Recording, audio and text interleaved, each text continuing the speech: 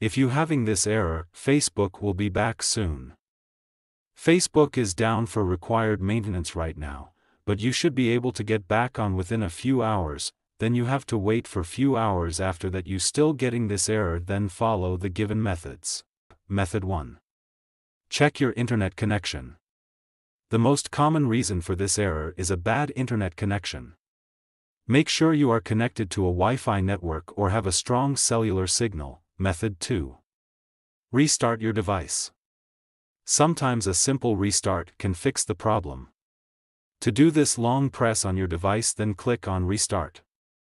After restarting check your problem is solved or not if not solved then follow the next method, method 3. Log out of Facebook and log back in.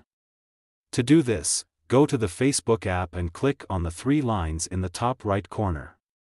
Then, click on Log Out. Once you have logged out, log back in and see if the error is still there. Method 4. Clear the app's cache and data. To do this, long press on Facebook app, click on App Info, then click on Force Stop, and then tap on Storage Cache. Then, tap on Clear Cache and Clear Data. Go back click on Permissions, then allow all needed permissions, Method 5. Update the Facebook app. Make sure you have the latest version of the Facebook app installed. To do this, open the Google Play Store or App Store and search for Facebook. If an update is available, tap on Update.